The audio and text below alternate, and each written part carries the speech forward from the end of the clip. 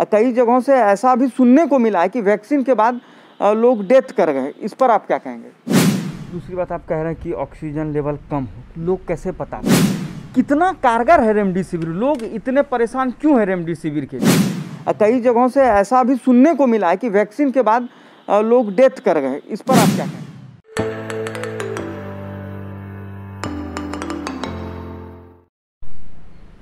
नमस्कार, मैं आशुतोष आनंद और आप देख रहे हैं एक्सप्रेस न्यूज़ जिस तरह लगातार पूरे विश्व में कोरोना महामारी फैल रहा है, कई मुल्कों ने इस पर काबू पा लिया है तो कई मुल्क अभी भी इससे जद्दोजहद कर रहे हैं। हमारा भारत भी कोरोना से लड़ रहा है जद्दोजहद कर रहा है। ऐसे में हमारे झारखंड में फ़िलहाल लॉकडाउन 29 तारीख तक लगा है। जिस तरीके से कोरोना महामारी पूरे भारत में फैल रहा है, भारत के साथ साथ हमारा झारखंड भी इससे अछूता नहीं है। दिन रात मौतों का आंकड़ा जो है बढ़ते जा रहा है। ऐसे में गोड्डा के डॉक्टर ऋत्विज ने एक नई पहल की है और उन्होंने अपना फ़ोन नंबर जारी कर घर से उपचार, प्राथमिक उपचार करने के लिए लोगों से अपील की है कि आप हमारे फ़ोन नंबर पर फ़ोन करें। और इससे सलाह लेकर प्राथमिक उपचार आप घर पे ही करें। आप देख रहे हैं कि जिस तरीके से सरकारी अस्पताल, प्राइवेट अस्पताल में बेडें फुल हो रही है तो कई ऐसे प्राइवेट अस्पताल हैं जिन्होंने का अपना क्लिनिक बंद कर दिया है। ऐसे में डॉक्टर ऋत्विज ने एक नई पहल करते हुए ऑनलाइन, आप कह सकते हैं कि ऑनलाइन इलाज करने का ठाना है और अभी तक इन्होंने सैकड़ों आदमी को अपना उपचार बताया है और कई लोग इनके उपचार से ठीक भी हो रहे हैं। तो आइए आज युवा डॉक्टर ऋत्विज से बात करते हैं। नमस्कार सर। नमस्ते। डॉक्टर साहब जब से आपने ऑनलाइन होकर लोगों को एक मैसेज दिया है कि आज जिसको भी प्रॉब्लम हो आप हमको फ़ोन कर सकते हैं। प्राथमिक उपचार जितना हो सकेगा फ़ोन पर आ, उन चीज़ों को आप देख सकते हैं। तो अभी तक क्या रिस्पांस मिल रहा है? कितने लोगों का अभी तक आपने हाल जान पाया फ़ोन के माध्यम से? सबसे पहले तो थैंक यू हमको यहाँ पे इनवाइट करने के लिए। uh, देखिए काफ़ी सारे लोगों ने रीच करने की कोशिश की है फ़ोन के थ्रू यथासंभव जितना भी हो सका है मैंने मदद किया है लोगों का अभी तक। और कम से कम सौ कॉल्स आ चुके हैं अब तक सौ डेढ़ सौ कॉल्स आ चुके होंगे। और काफ़ी दूर दूर से कॉल्स आए हैं और आ, मैंने एक छोटा सा इनिशिएटिव लेने की कोशिश की थी। आ, एक दिन ही हुआ है इस इनिशिएटिव को शुरू किए हुए।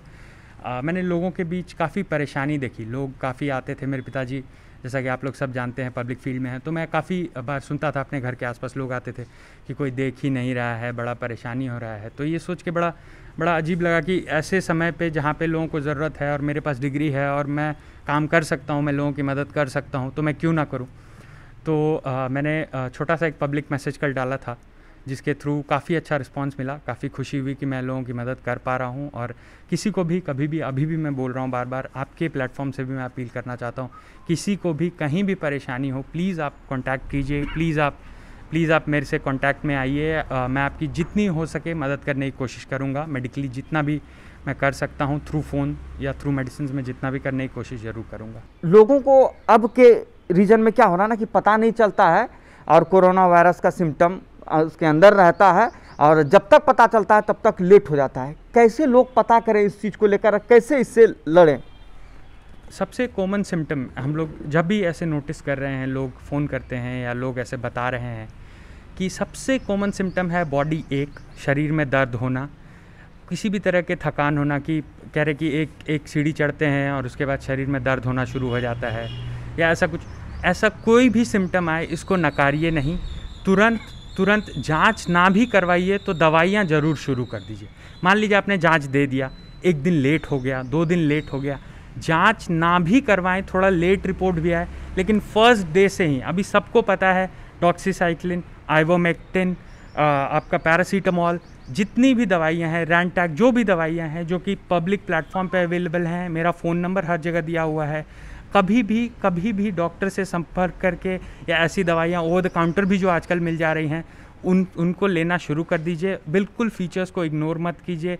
ज़रा सा भी थकान आए, ज़रा सा भी फीवर लगे, गले में खराश हो, खांसी आए, ऐसा कोई भी सिम्टम हो, उसको इग्नोर मत कीजिए। माइल्ड हो, सीवियर हो, इग्नोर मत कीजिए प्लीज़। गले में खराश की बात करते हैं तो लोगों को दो तरह की गले में खराश होती है। एक सूखा खांसी और एक गिल्ला खांसी, ये दो चीज़ होती है। कौन सी चीज़ों को लेकर ज़्यादा सीरियस होना चाहिए लोगों को? देखिए, सूखे और गीले में इतना डिफ्रेंशिएट करने की ज़रूरत नहीं है। इसमें बेसिक सिम्टम्स अचानक से आप कल तक ठीक थे और आज अचानक से आपको हल्का सा, मान लीजिए, थोड़ा क्लमजी जिसको कहते हैं इंग्लिश में, कि हल्का आपको अगर परेशानी लग रही है कि बेड से उठने का मन नहीं कर रहा, थकान लग रहा है, हल्का फीवरिश फील हो रहा है तो उसको इग्नोर मत कीजिए। और साथ में खांसी आई है, तब तो श्योर शॉट बिल्कुल आप हम लोग अभी कोई भी ऐसे कोई भी ऐसा पेशेंट मेरे पास अगर आ रहा है मैं उसको more often than not corona consider कर रहा हूँ। More often than not I am considering हमें कोरोना पॉजिटिव पेशेंट तो बिल्कुल ऐसा सूखा गीला में डिफ्रेंशिएट नहीं करना है ऐसे जनरल सिम्टम्स को लेके चलिए।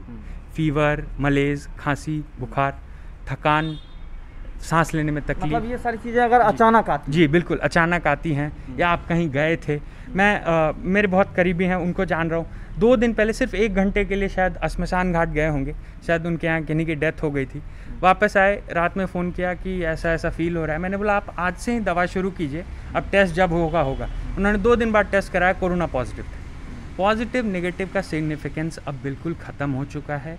हम लोगों को सिम्टम्स पे जाना है।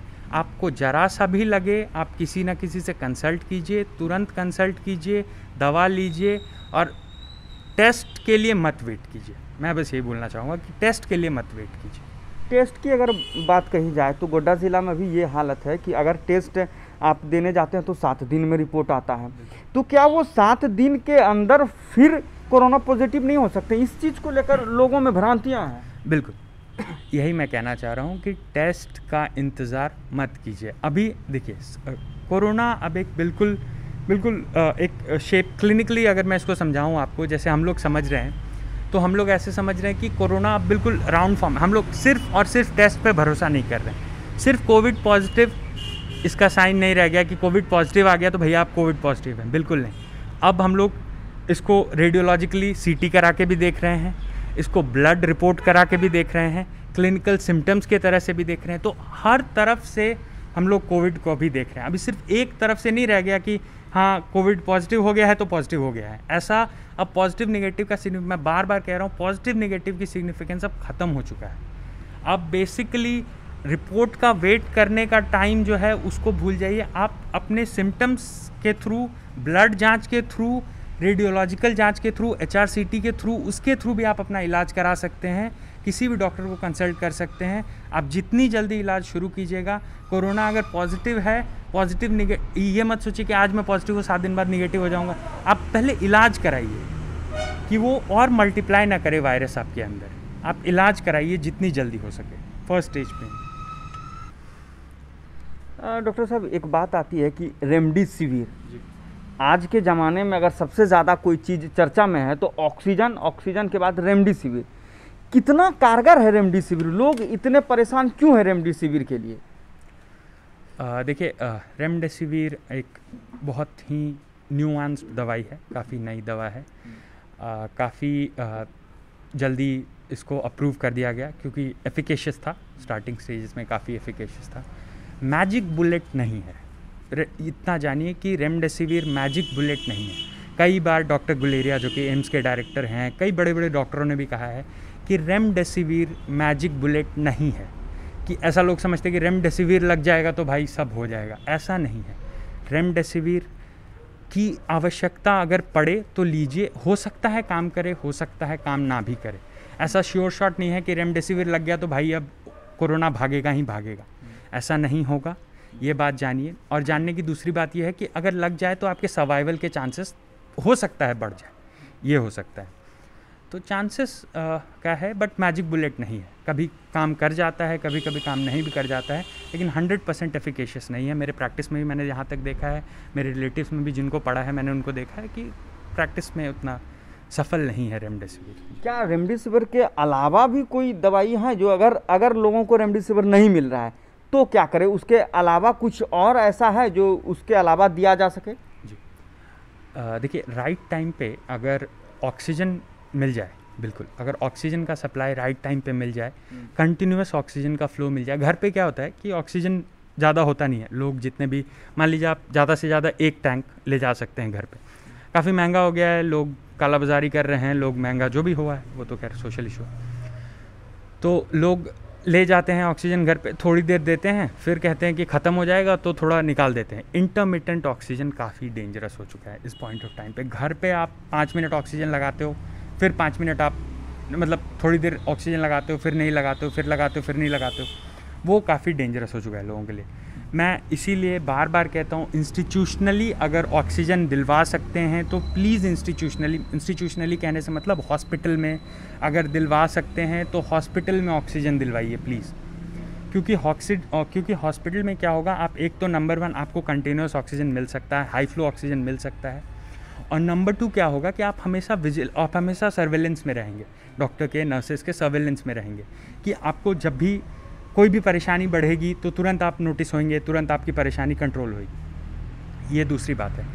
ऑक्सीजन काफ़ी एफिकेशियस है ट्रीटमेंट में। और नंबर टू स्टेरॉइड्स जैसे मिसाइल मिथाइल प्रेडनिसलोन है डेक्सा है, ये काफ़ी एफिकेशियस हैं, ये भी बहुत एफिकेशियस हैं। बसरते सही टाइम पे चल जाएँ, सही टाइम पे चल जाएँ। ये दवाइयाँ अगर सही टाइम पे चल जाएँ तो काफ़ी एफिकेशियस हैं। और एक पॉइंट इसमें मैं जोड़ना चाह रहा हूँ। क्या होता है कि कोविड के जितने भी पेशेंट्स हैं, सब में भूख वगैरह ख़त्म हो जाती है। जनरली मैंने देखा है, सब फ़ोन करते हैं कि डॉक्टर साहब, भूख नहीं लगती है, क्या किया जाए, कैसे होगा?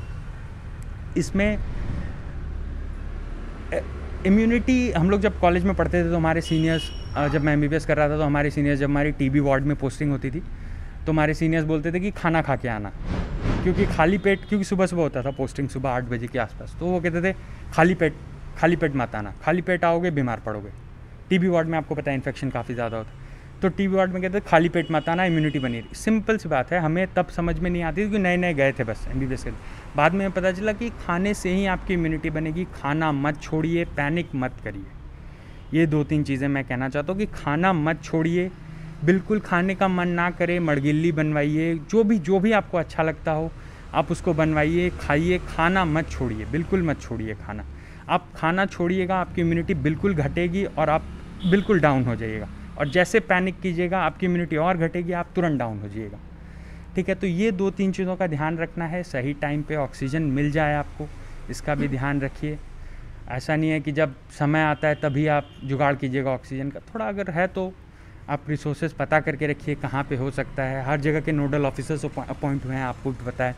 हर हॉस्पिटल के नोडल ऑफिसर्स अपॉइंट हुए हैं।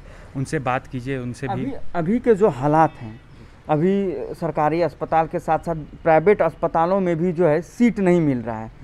ऐसे में अगर किसी को पता चले कि हमें फ़र्स्ट फ़र्स्ट सिम्टम जो है वो पता चला है सर्दी है खांसी है बुखार तो ऐसे लोग क्या करें? ऐसे लोग सबसे पहले आप दवा लीजिए।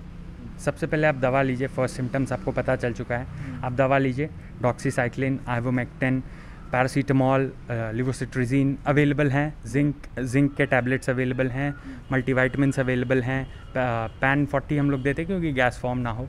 उसके लिए सब कुछ अवेलेबल है मार्केट में। ये चार पाँच छः दवाइयाँ लेके शुरू कीजिए इलाज अपना। उसके बाद आप किसी से कंसल्ट कीजिए किन्हीं डॉक्टर से कंसल्ट कीजिए, कुछ भी अपना कंटिन्यूस मॉनिटरिंग करते रहिए चार्ट बनाते रहिए हर दो दो घंटे पे, अपना ब्लड ऑक्सीजन लेवल का, अपने फीवर का चार्ट बनाते रहिए और हमेशा किसी डॉक्टर से टच में रहने की कोशिश कीजिए कि अगर परेशानी बढ़ती है तो आगे क्या किया जाए? क्योंकि इसके आगे की दवाइयाँ ऐसी हैं जो कि आप खुद से नहीं चला सकते हैं। तो इसके आगे की दवाइयों के लिए हमेशा किन्हीं ना किन्हीं डॉक्टर से टच में बने रहिए। कि भैया आगे क्या करना है, सर आगे क्या करना है? पूछे, पूछिए, हमेशा सवाल पूछिए। और मेरा प्लेटफॉर्म तो है ही यहाँ और और भी बहुत सारे डॉक्टर्स हैं जो कि हेल्प करने के लिए मैं श्योर हूँ अब आगे आएँगे, बिल्कुल आना चाहिए उनको, क्योंकि ये टाइम कम्युनिटी के साथ आने का है। तो उसके बाद अगर आपको कठिनाई हो रही है 93 या 92 के नीचे आप देख रहे हैं कि आपका ऑक्सीजन बिना किसी मास्क के, बिना ऑक्सीजन मास्क के जा रहा है तो आप प्लीज़ कोशिश कीजिए कि आप कहीं ना कहीं एक ऐसी जगह पे जा सकें जहाँ पे कि आपको ऑक्सीजन मिलना, मिलने के चांसेस बने। जैसे आप 90 या 89 या 88 पे स्लिप करते जा रहे हैं, अगर आपका स्लिपिंग पैटर्न दिख रहा है आपको कि कम हो रहा है तो प्लीज़ किसी को कंसल्ट कीजिए आगे की दवा के लिए। और स्लिपिंग पैटर्न अगर दिख रहा है तो ऑक्सीजन के जुगाड़ के लिए कहीं ना कहीं ज़रूर कंसल्ट कीजिए और कोशिश कीजिए कि आपको ऑक्सीजन मिल जाए। दूसरी बात आप कह रहे हैं कि ऑक्सीजन लेवल कम हो लोग कैसे पता करें? ये बड़ी सवाल है। कई लोग को पता है लेकिन कई लोगों को पता नहीं है कि ऑक्सीजन लेवल अगर हम में कम हो रहा है तो हम ये कैसे पता करें कि ऑक्सीजन लेवल कम है? देखिए ऑक्सीजन लेवल पता तो कोई भी नहीं बता सकता। बिना बिना पल्स ऑक्सीमीटर के तो कोई भी बता नहीं सकता है। तो पल्स ऑक्सीमीटर एक डिवाइस है अंगूठे पे लगती है। अंगूठे सॉरी तर्जनी पे लगती है। और तर्जनी पे लगा के आप देख सकते हैं। नॉर्मली 95 प्लस रहता है हमेशा। जैसे कोई भी यंग कोई भी यंग या कोई भी अगर एडल्ट है ग्रोन एडल्ट है तो हमेशा उसका 99 98 ऐसा रहता है। 95 प्लस रहता है। 94 93 से अगर कम होने लगे तो सिम्टम्स थोड़े ग्रीव होने लगते हैं। 90 से अगर कम है तो श्योर शॉट आप ऑक्सीजन का इंतज़ाम कराइए। और एक चीज़ इस पर मैं कहना चाह रहा था। मार्केट में जितने भी लोग हैं कई लोग मेरे पास आते हैं। हज़ार रुपये की चीज़ है। लोग मार्केट में जाते हैं, चार हज़ार रुपये की मिल रही है। हाथ जोड़ के विनती है मेडिकल वालों से। हाथ जोड़ के विनती है, प्लीज़ भैया, ऐसे समय में तो मत करो ऐसा। ऐसे समय में ऐसा मत करो। प्लीज़ आप लोग ऐसा मत करो। मदद करो कम्युनिटी की। आपको दुआएँ देंगे लोग। ऐसे मत कीजिए। चार हज़ार में मत बेचिए एक हज़ार की चीज़ को। इतनी सी रिक्वेस्ट है बस कि चार हज़ार में मत बेचिए एक हज़ार की चीज़ को। मेरे पास दो थे, मैंने दो दे दिए। बोला, भैया, किसी के तो काम आ जाएगा। मैं खुद हॉस्पिटल राउंड्स पे जो लेके घूमता था दे दिए दो कि किसी के काम आ जाएगा। क्योंकि लोग चार हज़ार रुपये की बेच रहे हैं उसको एक हज़ार की चीज़ नहीं है वो। तो ये भी एक रिक्वेस्ट होगी आपके साथ। कई लोगों में क्या देखा जा रहा है कि वैक्सीन के बाद बहुत ज़्यादा बुखार आ रहा है। और कई जगहों से ऐसा भी सुनने को मिला है कि वैक्सीन के बाद लोग डेथ कर गए इस पर आप क्या कहेंगे? देखिए वैक्सीन रिलेटेड डेथ्स काफ़ी कम है बहुत बहुत ही कम है। ऐसा अगर होता तो गवर्नमेंट ज़रूर इसको सीरियसली लेती। और ज़रूर, आप देखिएगा, वैक्सीन रिलेटेड जितनी भी डेथ्स हुए हैं, कह रहे हैं कि वैक्सीन के बाद हुए हैं, ज़रूर कोई ना कोई और कारण से हुए हैं। अगर ऐसा होता तो गवर्नमेंट ज़रूर इसका संज्ञान लेती और वैक्सीन को रोकने का काम करती। ऐसा बिल्कुल नहीं हुआ।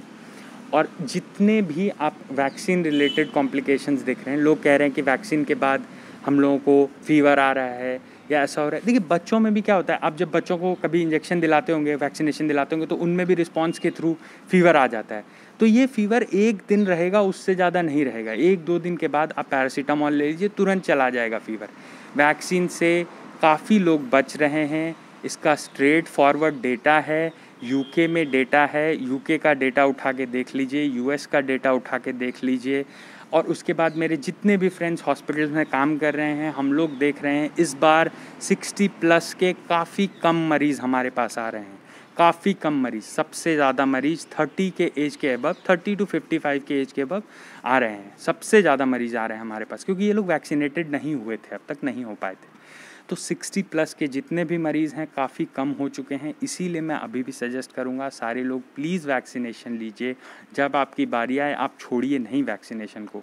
इधर उधर की बात बहुत चलती है, सब अपने आप को, सब अपने आप, सब अपना सिग्निफिकेंस बनाने के लिए पचास तरह की बात करते हैं कि हमको ये हुआ, हमको हमको ऐसा लग रहा है। सब कॉन्स्पिरेसी थ्योरी बनाएँगे, उन सब पे यकीन मत कीजिए। अगर उन लोगों की बात मानिएगा तो धरती फ्लैट है।